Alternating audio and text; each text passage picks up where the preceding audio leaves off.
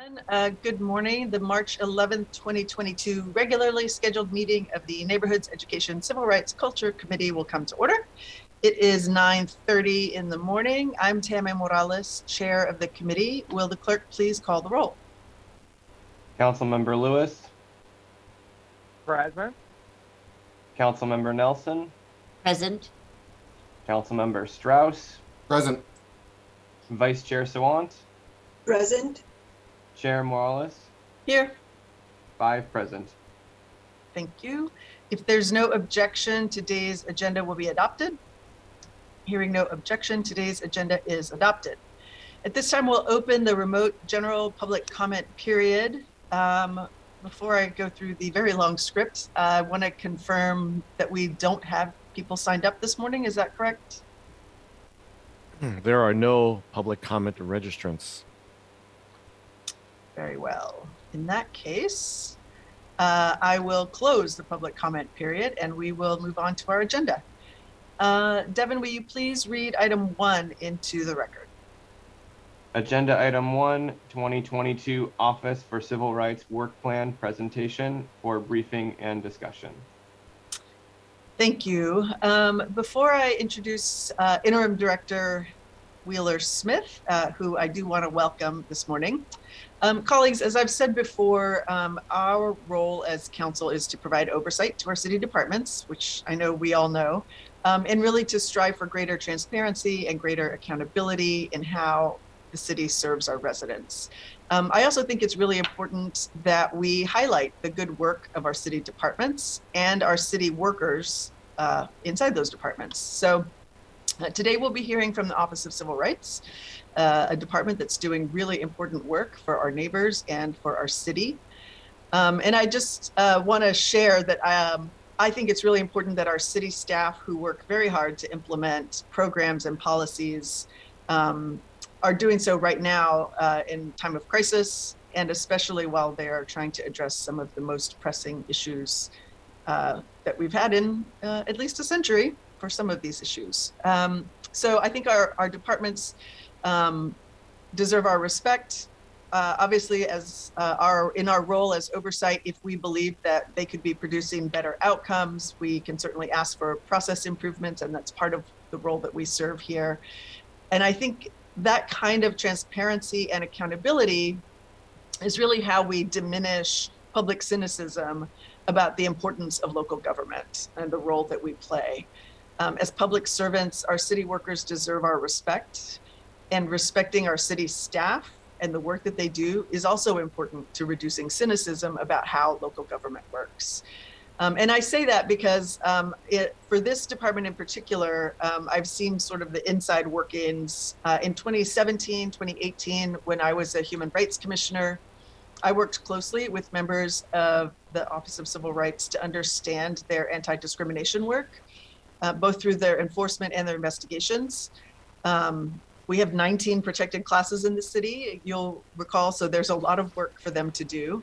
Um, I also wanted to understand how the RSJI team is working to assist our city um, in our effort to end institutional racism within city government.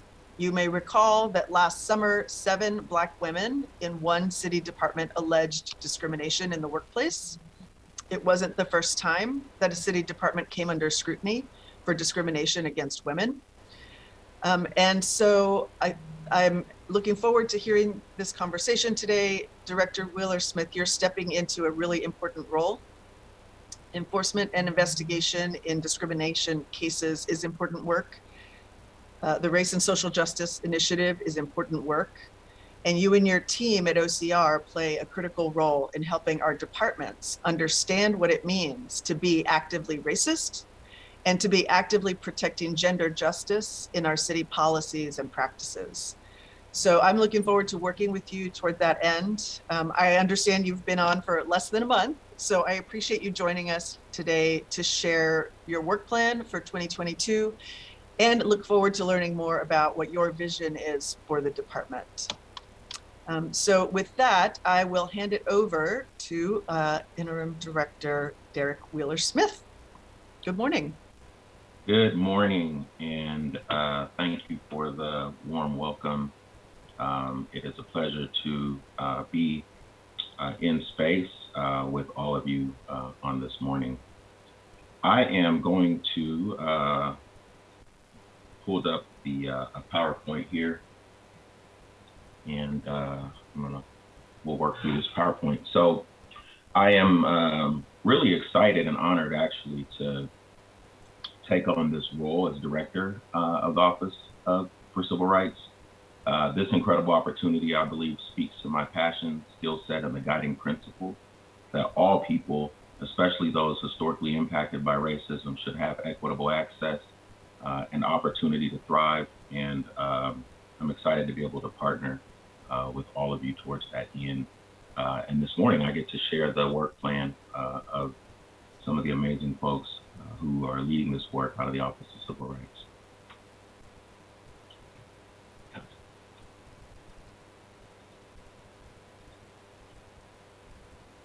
Attached here is uh, the mission and vision uh, for the Office for Civil Rights. This was created by the staff in 2018. And over the course of several months, staff worked together really to identify this as a North Star and uh, how we hope to get there. And that mission and vision is a city of liberated people where communities historically impacted by racism, oppression, and colonization hold power and thrive. Uh, with the goal to end structural racism and discrimination through accountable community relationships and anti-racist organizing, policy development, and civil rights enforcement. Here are the uh, established values um, from the Office for Civil Rights, and I believe that values are so important uh, because it's something that should anchor us, and ultimately uh, we want to lead from our values. And in those moments where we're not leading from our values, um, we want to make sure that we're able to have courageous conversations around what pivots need to be made um, so that we can function um, and be in alignment with those values. And so, authenticity and working toward racial equity and practicing and applying principles of anti racism. Uh, we really want to be able to move collectively and purposefully in the direction of racial equity uh, by sharing and planning and decision making and power with uh, organizations and anti racist communities of color. Uh, we want to be able to ensure engagement with communities that are most impacted by institutional racism and believe that that is important work. Um, our second value of community-led solutions uh, and accountable community relationships is really about acknowledging and uh, doing the work to repair city government's role in causing harm to communities most impacted by its policies and practices, uh, and being able to consistently ensure high levels of community input, participation, and leadership in policy development, execution, uh, as well as implementation. Our third value really centers around integrity. We want to be able to operate with consistency, accountability, and in alignment with our stated values, being transparent and making information available to the public, uh, both internal and external, uh, recognizing that there has to be accountability uh, with all of, of our stakeholders. And then collaboration. We really believe that it's important that we're able to work regularly and communicate across functional areas uh, as we think about uh, the work that uh, Councilmember Morales mentioned, policy enforcement, um, the Race and Social Justice Initiative, as well as commissions and the administrative divisions, and, and really work together with communities most impacted um, by our city's policies and practices. And then last, lastly, it's really about thoughtful planning for us. We want to be able to take into account uh, the historical harms, the impacts of those harms in working to achieve our goals, and responsibly maximize the resources uh, that we've been given um, and ensure that we're being great stewards over those resources, while at the same time analyzing and strategically navigating power to develop support uh, for racial justice strategies uh, across multiple stakeholder groups. These values uh, have been created alongside the mission and vision, have really been a part of helping staff to get clear, um, and again, is important uh, because it anchors us in the work. I want to share uh, this uh, by way of just communicating what our org chart looks like uh, in the uh, Office for Civil Rights. Um, we have a staff of around uh, 38 folks or so, and um, And what you see here uh, is myself. We really want, we really function, I would say, as a network more than kind of a, a hierarchy.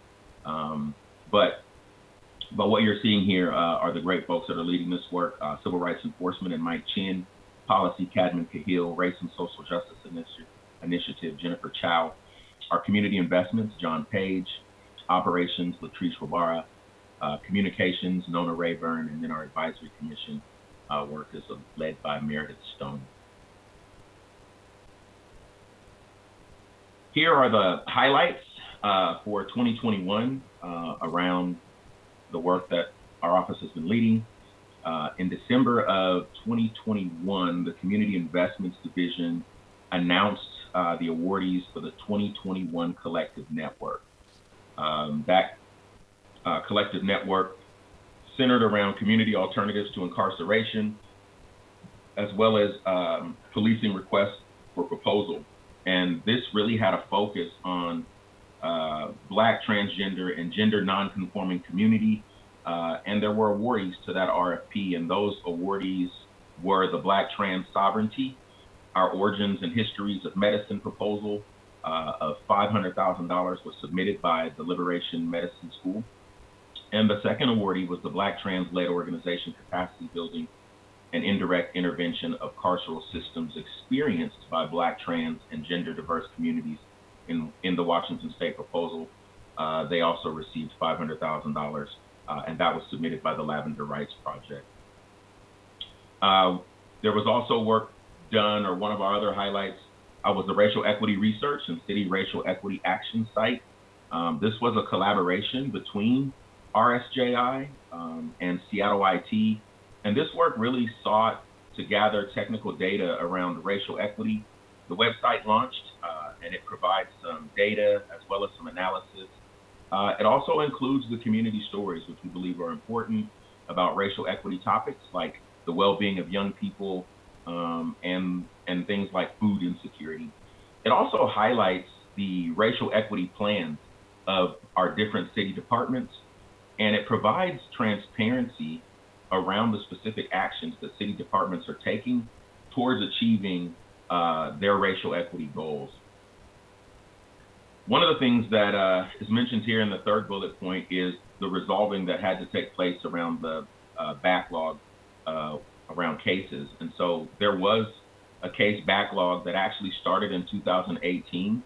Uh, there were a mix of things. Uh, there was, of course, the staffing issues that we encountered. Um, and then, um, and then, and due to those staffing issues that existed actually within our investigations team, uh, but through some some major dedication, and then of course even having to navigate the challenges uh, of COVID-19, the staff has been able to clear the backlog in 2021 and entered into 2022 with just the most current caseloads. We also have developed and implemented uh, restorative justice practices through our mediation program.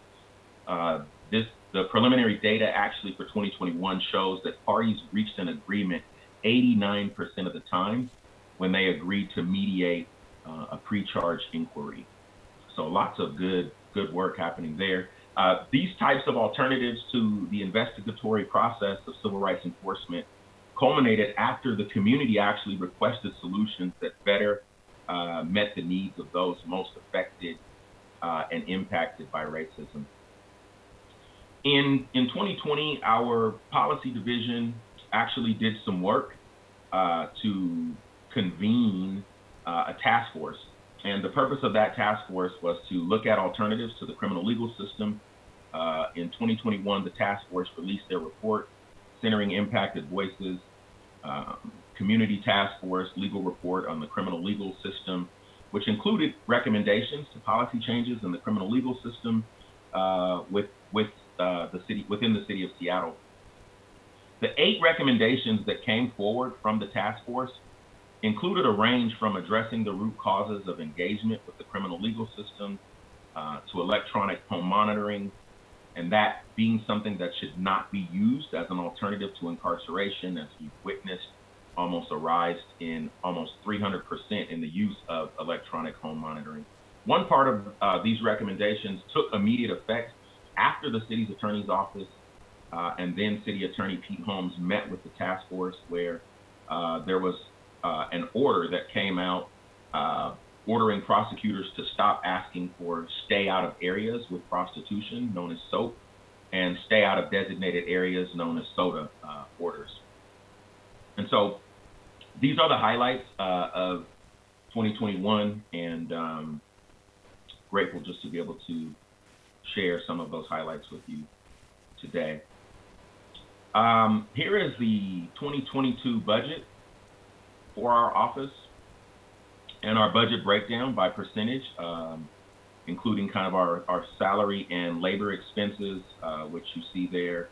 Um, and our salary and labor expenses actually are at about 5.8 million, which is about 67% or so of our salary. We have community investments, um, which is about 16% of our budget um, and that sits at about 1.4 uh, million.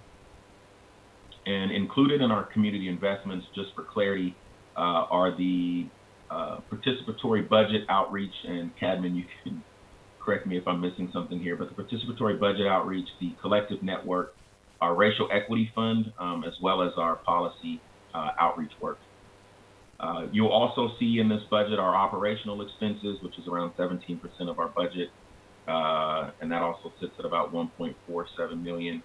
We've got fixed allocations in there, um, which obviously would include uh, the th- things like our lease um, and work with some of our other departments within the city, FAS.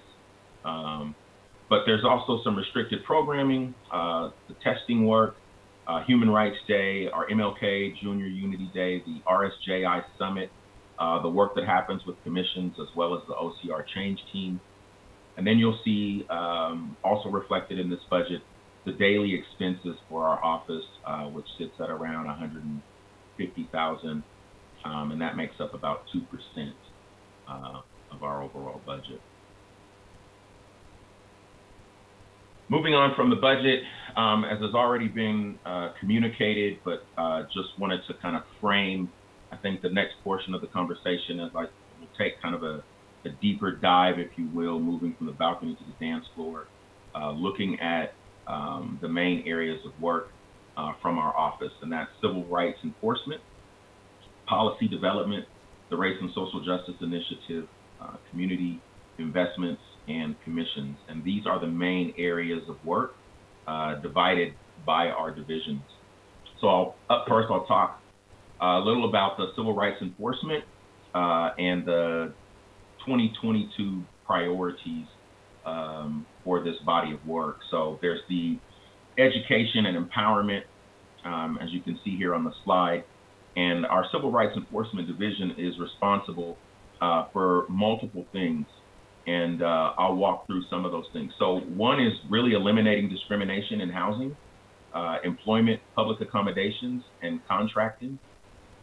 Uh, the second body of work that uh, the Civil Rights Enforcement Division is responsible for is educating the community on civil rights protections uh, and responsibilities. We also are doing the work to build accountable community relationships, and that happens through outreach and public engagement. And then lastly, it's really promoting equal access to city services, programs, and facilities.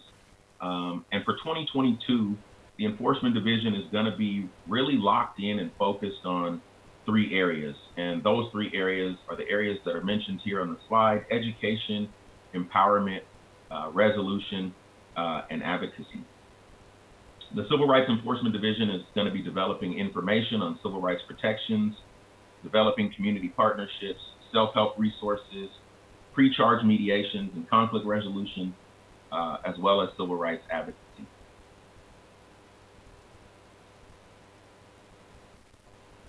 Next up is our policy division, um, and that division is led by uh, Cadman Cahill, uh, who joins uh, me today. This uh, body of work, in addition to really being able to provide technical assistance and feedback on city legislation, our policy division is actually engaged in several major projects uh, for 2022. the overall goal of the division's work really is to ensure that the folks who are historically absent uh, but most impacted by institutional practices are heard, uh, their needs are prioritized throughout all parts of policy development and process, uh, and that we are centering uh, them and the, and the lived experiences of those folks and really working to close the gap between uh, the values um, that we have and the lived experiences of people in communities. And so uh, some of those policies or priorities include the Gender Justice Project, uh, the elevation of community voices and solutions, uh, the Community Legal Systems Project, uh, which is connected to jail use mon- uh, usage and monitoring and increasing accountability. And then lastly, the uh, SMC Chapter 14 review. Um, this really centers around ordinance analysis uh, and, and the fortification um, of that review. Our third, the third body of work um, that I'm sharing with you today is our Race and Social Justice Initiative. And uh, this body of work uh, that comes from our Race and Social Justice Initiative for 2022 is going to center um, and continue to focus really around three um, primary areas. That's engagement, convening, uh, and outcomes. And so this, our, our priorities uh, for 2022 are really focused on relationship building for sustainable change. Um, and, and so I'm going to talk a little bit about each of these uh, three areas. The first being engagement. We recognize the importance of being able to connect again with both internal and external stakeholders. And one of the ways that that happens is through trainings. RSJI provides foundational uh, and advanced racial equity training um, using tools like race, the power of an illusion, and internalized racial oppression. Uh, there are events that happen like the RSJI Summit uh, and the MLK Unity Day. The RSJI Summit is a gathering for the City of Seattle staff who advocate for racial equity. It typically includes keynote speakers, panel discussions featuring city staff, uh, as well as community organizers, and interactive workshops. The past two years, the summit has been virtual uh, due to the pandemic, and uh, event recordings have been shared out with the public uh, of those events. Lastly, it's the uh, the website that RSJI has been in the process of developing and, and continuing to produce more content, uh, content that intentionally spotlights the racial equity work that's happening inside the city of Seattle, um, with a goal really to be able to incite and inspire city employees um, and to be able to develop trust uh, with the city of Seattle and the surrounding communities. Excuse me, Director Wheeler Smith, it looks like Councilmember Strauss has a question. Um, Yes. Thank you. Thank you, Chair. Thank you, Director Wheeler Smith. I've really enjoyed this presentation. I have a question about the RSJI engagement and training citywide. Is my understanding that your department is re- in charged with providing the staffing for RSJI trainings across all city departments, or do each city department have their own staff to help you accomplish this work? Um, my understanding is that we basically staff uh, the entire city, but part of the role is mentioned really here in this, um, you know, second priority around our work, which is convening. Um, because as you can imagine, that's it's a huge undertaking to be able to support uh, all of this work and and and to be able to do it with um, fidelity um, and and to really think through strategically what it means and looks like for us to be able to institutionalize the work. And so, with that said, there are great folks who are also engaged in this work, uh, but they're doing it from a volunteer base in terms of being able to support uh, their uh, different departments. Uh, is there anything that um, Cadman you would add or that I missed? No, I think I think you're right, Derek, um, and everything you said. I think the only thing I would add is that our, you know, our RSJI team is is is is not that big, and so while they would, I think, like to provide training citywide, and they do it in some some larger training sessions, it really, as Derek said, is incumbent on these change teams and these departments to support capacity building to get some of those more targeted trainings done. Um, so while the RSJI team is in charge of kind of leading efforts for citywide trainings, it really to do this well requires um, each department to also pitch in, like Derek said. Thank and you. I'll And- just add on top of that that the folks who do that work within each department do that work on top of whatever their regular duties are. They don't get extra compensation or um, really any other recognition. They just get more work.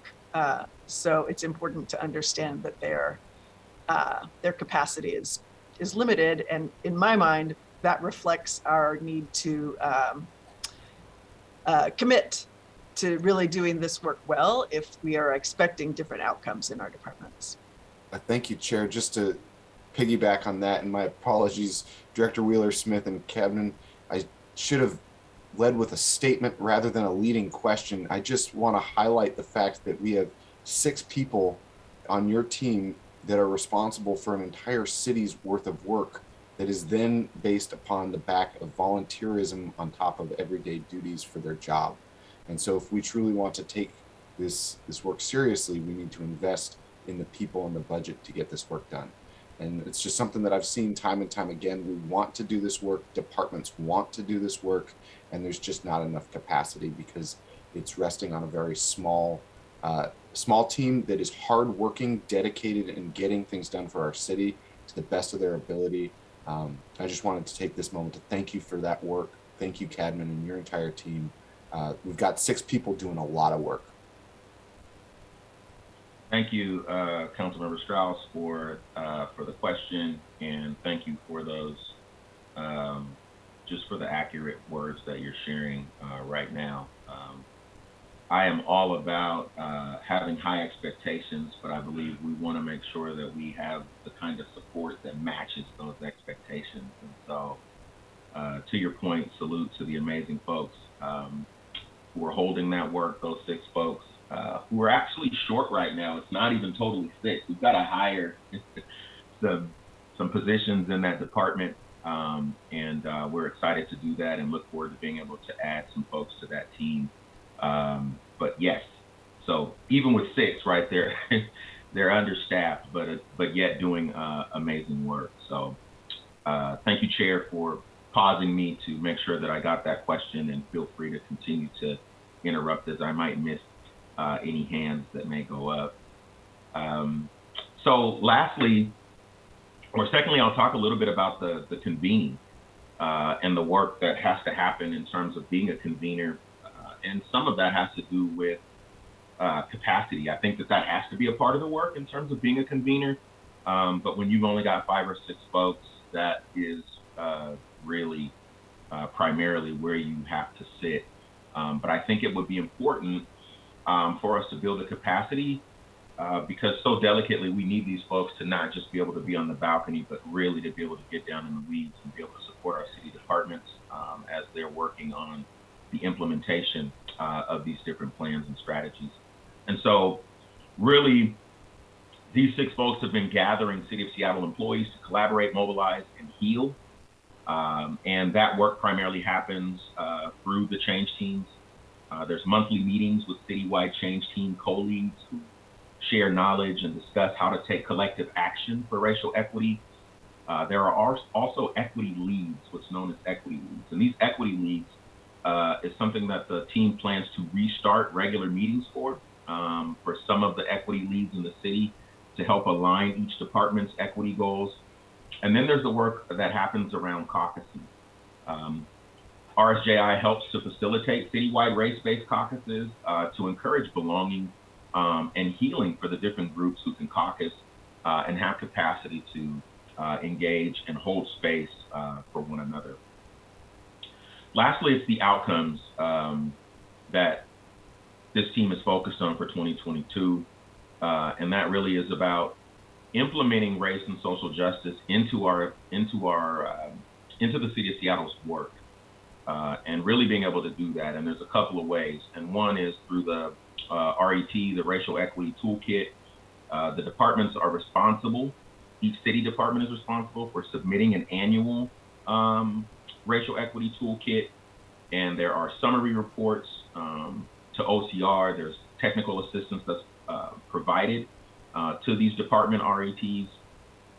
And uh, again, just thinking about that and capacity and what it really means to be able to lean in to this work. And I think it's so important to continue to build capacity uh, because we definitely don't want our work to show up as decoration um, or as tokenism, but we really want to be able to lean in. Um, and it's going to mean being able to increase accountability and reduce, I think, some of the discretion around these plans and how we're executing around them. Um, there's the work with the uh, CBO, the City Budget Office. RSJI will continue to partner with CBO to integrate racial equity into citywide budgeting policies and procedures. We believe that our budget is a moral document. Um, and so, how does that budget align uh, with our said values? And then, of course, the data analytics and racial equity, um, also known as DARE. RSJI convenes departmental data analysts, um, and that work is really to ensure that data is used equitably um, by the city of Seattle.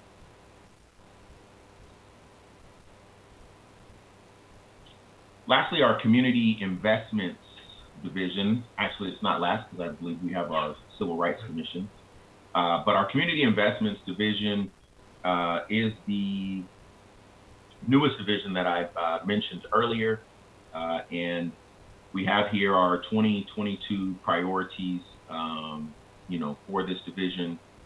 The history of this, of our community investment division, um, really all comes from community efforts. And so um, I think oftentimes we could be moving so fast that we don't pause, I think, to recognize the historical context, right? Um, and so we definitely want to make sure that we don't get amnesia around that and recognize the great work happening in community uh, that created and, and caused uh, some of these shifts intentionally uh, in how we function and move and create uh, and, re- and respect to the adaptive leadership uh, of uh, the previous director, Marco, and team to be able to make these pivots Uh, in partnership with community.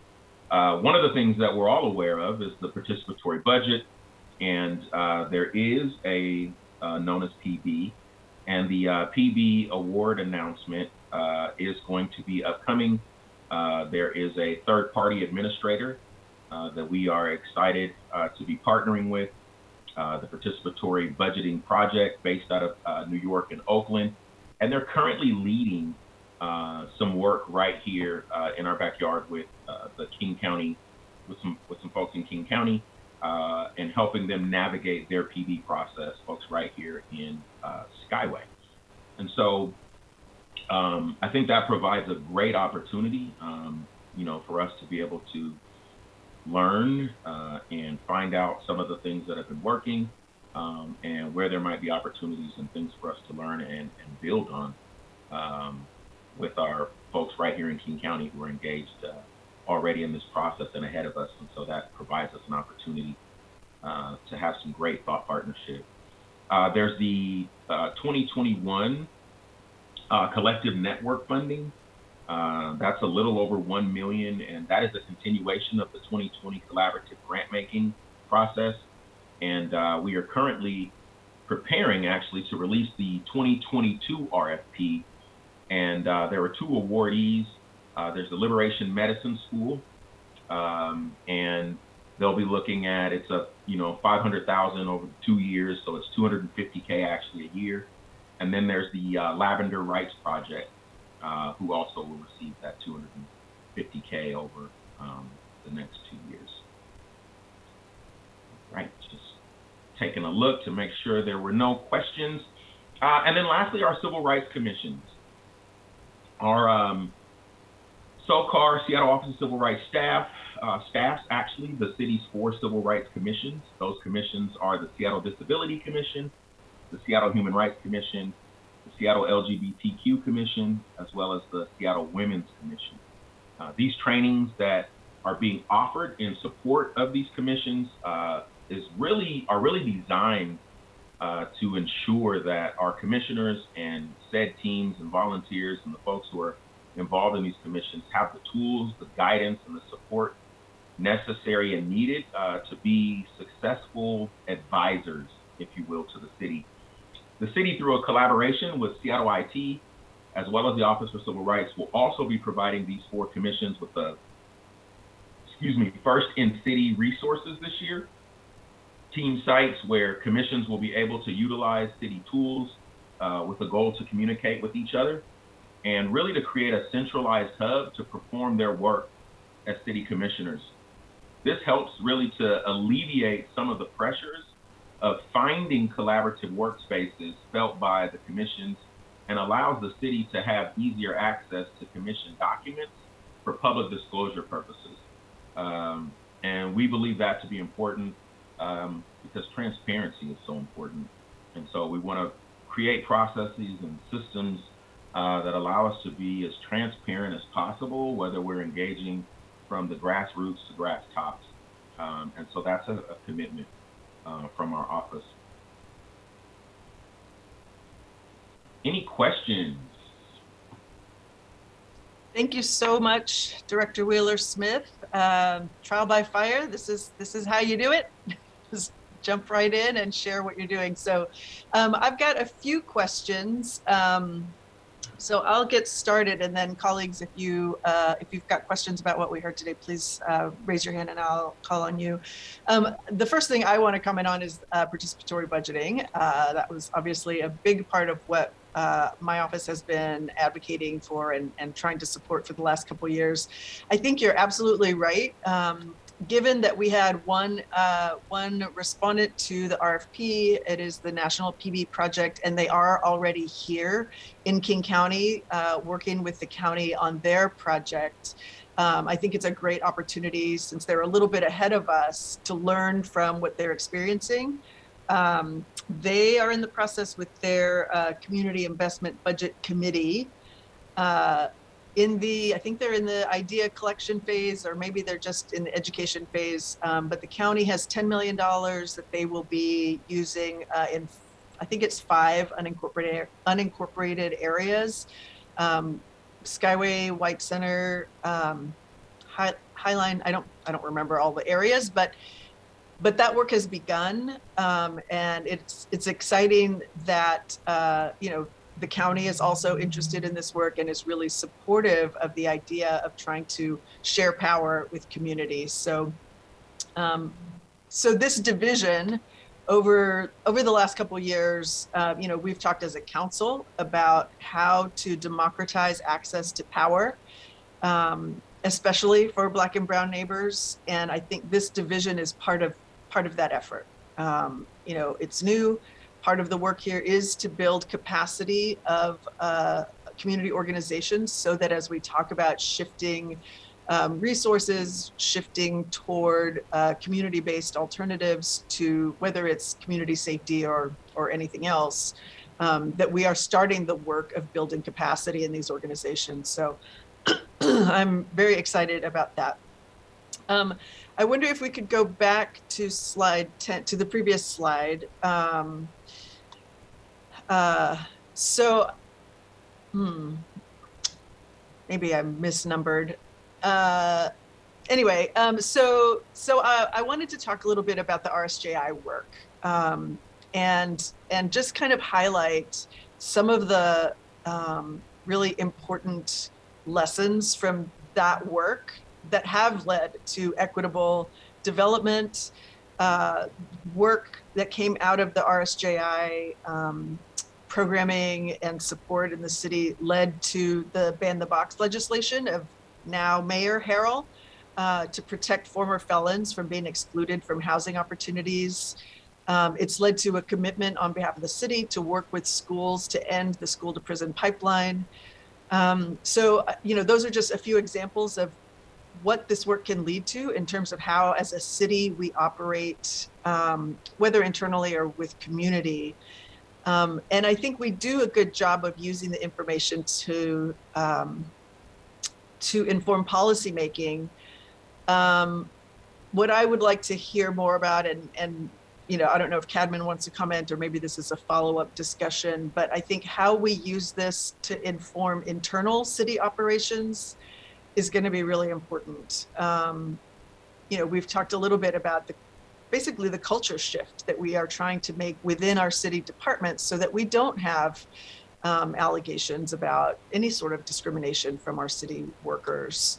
Um, so I wonder if if uh, Director Wheeler or maybe Cadman, if about how we examine um, implementing the, an RSJI ordinance. I know there's been some discussion about that.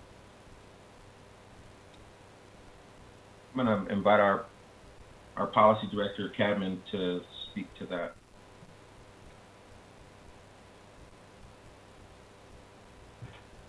So what I'll share is that I, I um, I've heard from the RSJ network a real desire to to somehow figure out a way to to um, legislate um, some of the RSJ work so that there's continuity um, beyond you know each change in administration and so there's clarity around what RSJ does. Um, as we alluded to earlier, so much of the work of RSJ is really incumbent on departments supporting this work, making sure that their staff have time to to give to it. And so, how do we create um, like citywide expectations and accountability so that departments can can um, continue growing the capacity to do RSJ work? Okay. Thank you. I- Um, I would add that yeah. my hope is that too we could make the kinds of shifts that moves this also out of being an initiative. yeah, Um, I, I think that that will bode well um, to our commitment to recognizing that this is a stabilized component um, that I really wouldn't call a, a part of our work, but I think has to sit at the center of our work. Um, it should it should be embedded in uh, how we move and how we function, and how as a city we move away from what I would call. I think we talk about having like a racial equity lens. I wonder if we could get like a racial equity LASIK, right? Like lenses can be taken off. I can't see right now, but I can decide like when I want to put these on. Um, and so, how do we ensure that in every facet of how we function and how we move, that these considerations uh, are embedded into our thought processes uh, and drive um, the ways in which we engage each other, um, which I think is really just about centering humanity and and, and recognizing it's important uh, that we treat each other with the respect and dignity that each of us deserves. yeah. Thank you very much for that. I appreciate it. Um, and you know, this is this is work that's really important to me. I think it's uh, really important to all of us, especially as we're trying to move forward um, to, to dismantle some of the systems, whether we're talking about land use or housing or education or transportation. Um, you know, this is at the center of all of those changes that we're talking about wanting to make. And so each of our departments needs to understand what that means so that as we move forward with with policy planning, programming, um, and even internal operations, it's really clear what the North Star is for this for this work.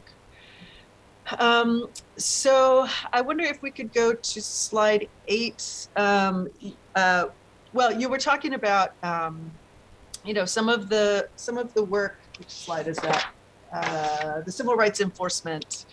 Um, I'm really happy to hear that you've resolved the backlog uh, in cases. I know that's a, a few years old. Um, and I know that last year the investigations team um, was, if I'm not mistaken, found evidence of discrimination in nearly twice as many cases compared to previous years. Um, so I wonder if you can talk a little bit about the kind of cases that you're hearing um, and and then talk a little bit about the different options for resolution because you mentioned mediation um, and i think it's important for colleagues and for the public to understand kind of what steps are available to folks who are filing complaints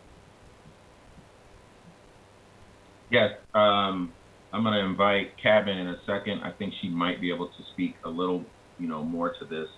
One of the, um, in terms of, I should say, you know, where we're where we're witnessing or seeing kind of an increase in cases. Um, one of the places that there has been an increase has been in uh, COVID-related cases, uh, workplace um, accommodations, uh, things of that nature. There's definitely been a, an increase there. Um, in terms of opportunities for resolution, um, I think one of the things that has been huge is with our resolution department has been kind of the opportunity to provide folks with, um, you know, conflict resolution coaching um, and the kind of conflict resolution coaching really that centers around uh, an opportunity for restorative justice and for folks to actually go through a, a pre-charge mediation process, if you will. Um, and there's been uh, a tremendous amount of, of success uh, with this program and with not having to have, you know, folks go through um, the entire process. I think oftentimes what people want are just to find a way uh, to get the issue resolved. And uh, I believe that this is a, a, much more humane way of actually engaging with each other um, because it brings folks uh, together um, and to collectively resolve uh, the issue, figuring out what's going to work for both parties, um, and really being able to kind of own the different ways that folks have been harmed and talking about how we can move forward uh, to heal and to resolve the conflict or issue. Uh, is there anything, Cadman, that you would add to? I don't think so. I think you did a good job um, providing that overview and, and the move away from just providing traditional investigations, but other opportunities to resolve um, conflict when when parties are at an impasse. So Thank you. Um, okay, colleagues, I think uh, I kind of went through my questions. Are there other questions, uh, comments folks want to make about what we heard today?